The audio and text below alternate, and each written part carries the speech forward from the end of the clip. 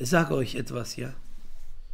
Wallah, bei Allah, mir wurde, mir wurde eine Stelle, eine Stelle in einem muslimischen Land als Chef, passt auf, ja, Chef, mit Villa, mit neuestem Auto, mit 180.000 Dollar im Jahr als Lohn plus 15% von dem Gewinn von einer Firma plus sechs Tickets Deutschland, dieses Land und ich arbeite nur acht Monate und vier Monate habe ich Urlaub.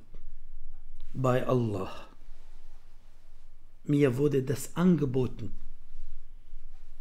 und ich, ich sollte nur unterschreiben. Dann habe ich meinen Sheikh angerufen. Ich habe einen Sheikh, ich habe ihn angerufen. Ich habe gesagt, Sheikh, ich habe dieses Angebot bekommen. Was denkst du? Der hat gesagt, schau mal, ich will nicht viel erzählen. Er sagt dir nur etwas. Dunya oder Din, das bedeutet diesseitiges oder jenseitiges. Ich habe ihm gesagt, du weißt die Antwort. Jenseitiges. Der gesagt, dann wähle. Dann habe ich das nicht angenommen.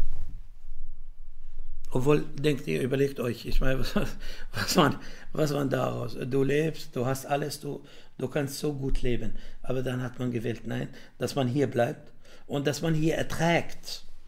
Hassmails, Hass, äh, äh, äh Nachrichten, Drohungen. Wisst ihr einmal, was sie gemacht haben hier bei uns? Ha? Ich erzähle euch, was sie bei uns gemacht haben. Bei Allah. Die haben meine Bilder überall hier auf der Straße gemacht. Mit so mit einem Bild von unserem Propheten sallam.